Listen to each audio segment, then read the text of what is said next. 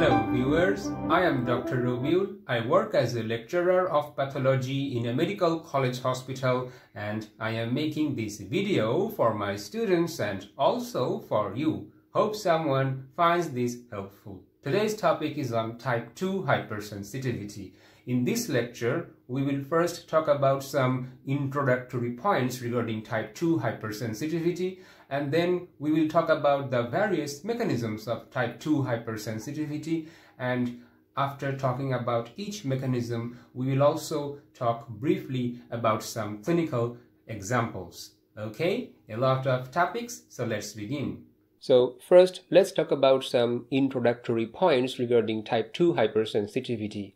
It is also known as antibody-mediated or cytotoxic hypersensitivity. Now, why are we calling these antibody-mediated? Because here, antibodies are produced in response to antigens that are located on cell surface or in the extracellular matrix and that causes hypersensitivity as we will see. And the location of antigens are very important we can see that in type 2 hypersensitivity there is reaction of antibodies with antigens but the antigens are located on cell surface or in the extracellular matrix and this is different from what we will see in our next lecture on type 3 hypersensitivity. In that hypersensitivity or in type 3 hypersensitivity, we will see that antigens will combine with antibodies usually in the circulation and that will result in formation of some complexes that are referred as immune complexes and then those immune complexes will get deposited in the tissue. So that is the basic difference between type 2 and type 3 hypersensitivity.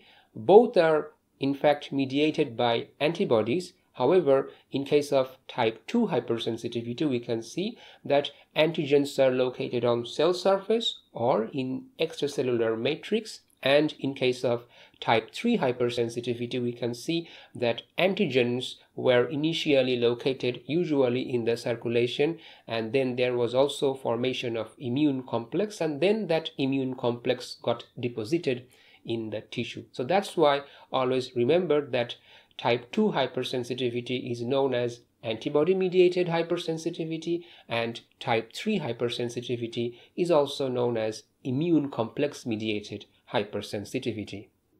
So now that we have talked about some introductory points regarding type 2 hypersensitivity, now let's move on and talk about the various mechanisms of type 2 hypersensitivity. As we can see, there are several mechanisms of type 2 hypersensitivity they are cell destruction by opsonization and phagocytosis, complement and Fc receptor mediated inflammation, antibody mediated cellular dysfunction, etc. So let's talk about these various mechanisms one by one. First, let's talk about opsonization and phagocytosis. Now, what do we mean by opsonization? It is the process of coating a particle with proteins like immunoglobulin G antibodies or complement 3B that facilitate or help in phagocytosis of that particle. So that is opsonization. And as we can see, cells can be coated by immunoglobulin G antibodies and then those immunoglobulin G antibodies can be recognized by certain Fc receptors of the phagocytes.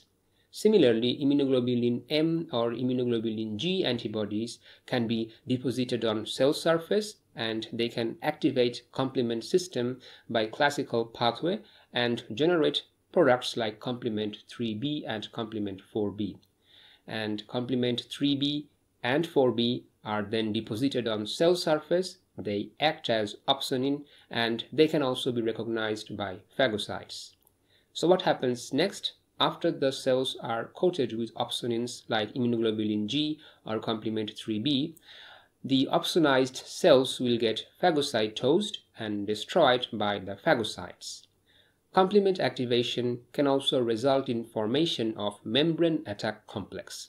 And always remember that membrane attack complex can disrupt cell membrane integrity by drilling holes through the lipid bilayer of the cell membrane. And that's how it can also result in destruction of the cell. Now the last bullet point is also important. the role of ADCC or antibody-dependent cellular cytotoxicity to common hypersensitivity disease is uncertain. So we won't talk about that in this lecture, but we will talk about that in another lecture. So this slide is summarizing the process of opsonization and phagocytosis. Also remember that I have an entire video on phagocytosis, so you can also look into that video after finishing this to know more about phagocytosis. So in this image, on the right we can see a phagocyte and on the left we can see an opsonized cell. And we can see that this opsonized cell is coated with complement 3b that are drawn in pink color and we can also see that it is also coated with immunoglobulin G. Note that these immunoglobulin Gs were produced in response to antigen that is drawn in red color and we can also see that the antigens are located on the cell surface. And recall from the first slide we had seen that uh, in type 2 hypersensitivity antigens are located on the cell surface or in extracellular matrix. And if this was type 3 hypersensitivity then we would have seen those antigens not on the cell surface but usually in the circulation. And they would have formed immune complex with antibodies and then that immune complex would have deposited to the tissue. So I am telling you this important basic concept over and over again because this is very important and you will often be having question regarding this both in your written and oral examination. Note that in the phagocyte we can see Fc receptor and complement 3b receptor and Fc receptors can recognize the Fc portion of immunoglobulin G and complement 3b receptor as the name implies can recognize complement 3b. So with the help of these receptors, the phagocyte can recognize those opsonins and that will help in phagocytosis of the opsonized cell. So now let's talk about some clinical examples regarding this mechanism. Now this slide is showing some clinical examples where type 2 hypersensitivity occurred by opsonization and phagocytosis. Examples will include autoimmune hemolytic anemia, autoimmune thrombocytopenic purpura, certain drug reactions, etc. In case of autoimmune hemolytic anemia, the target antigen is red cell membrane proteins like Rh blood group antigen, I antigen, etc. These antigens are located on the surface of red cell membrane. Antibodies will be produced in response to these antigens, and those antibodies will coat the target cell and help in their phagocytosis by the mechanisms we just discussed. The clinical manifestations will be that of anemia and there will be features of hemolysis. In case of autoimmune thrombocytopenic purpura, the target antigen is platelet membrane proteins like GP2B3A integrin. Antibodies will be produced against these antigens and those antibodies will bind with the target antigens and that will help in phagocytosis of the target platelets. Clinical manifestations will be bleeding. The next mechanism is complement and Fc receptor mediated inflammation. When antibodies are deposited in fixed tissues like basement membrane or extracellular matrix, injury may occur due to inflammation. Here, antibodies are deposited on fixed tissues and they will activate complement system. Activated complement system will generate various byproducts. For example, it will generate chemotactic agents, predominantly complement 5A, and they have role in causing migration of neutrophil and monocytes.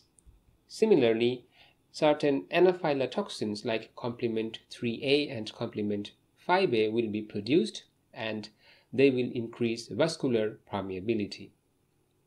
Now always remember leukocytes are activated by using their complement C3b and Fc receptor. Activated leukocytes will produce lysosomal enzymes and reactive oxygen species that will also damage tissues. So now let's talk about some clinical examples regarding this mechanism. Now this slide is showing some clinical examples of type 2 hypersensitivity that occurred by the mechanism of inflammation. They will include vasculitis, that is caused by anti-neutrophil cytoplasmic antibodies, Goodpasture syndrome, acute rheumatic fever, etc. So let's talk briefly about these diseases regarding vasculitis caused by anti-neutrophil cytoplasmic antibodies. Always remember here the target antigen was neutrophil granule proteins and it is presumed that those proteins are released when neutrophils are activated. So what is happening here? Neutrophil degranulation and inflammation is the mechanism that is resulting in vasculitis. Regarding Goodpasture syndrome, always remember here the target antigen is non-collagenous protein in basement membrane of kidney glomeruli and lung alveoli. And the mechanism is inflammation that is mediated by complement and FC receptor. So, what is happening in Goodpasture syndrome? There is nephritis and there is lung hemorrhage. Regarding acute rheumatic fever, here the target antigen is streptococcal cell wall antigen and the mechanism is same inflammation and the clinical features will include arthritis or inflammation of the joints and also myocarditis. The third mechanism of type 2 hypersensitivity is antibody-mediated cellular dysfunction. Here, antibodies formed against cell surface receptors will either impair or dysregulate cell function without injuring the cell or causing inflammation. So now let's talk about some clinical examples regarding this mechanism. So in this slide we can see some examples. One common example is that of myasthenia gravis. Here, antibodies are formed against acetylcholine receptors in the motor end plates of skeletal muscles.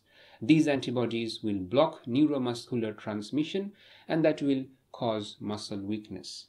Another example is in Graves' disease. Here, antibodies are formed against TSH or thyroid stimulating hormone receptor that are located on thyroid epithelial cells.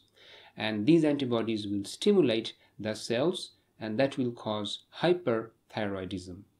So we can see a contrast. In case of myasthenia gravis, the antibodies were blocking the neuromuscular transmission and that was hampering their function. In case of Graves' disease, the antibodies are stimulating the target cells and that is causing overproduction of thyroid hormones. So this concludes our lecture on type 2 hypersensitivity. I hope this lecture was helpful. If you like my videos, do comment, share, subscribe and let me know. And for my students, I will also recommend you to go through your textbooks to know more. Okay, that's all for today. Until next time, take care and stay safe.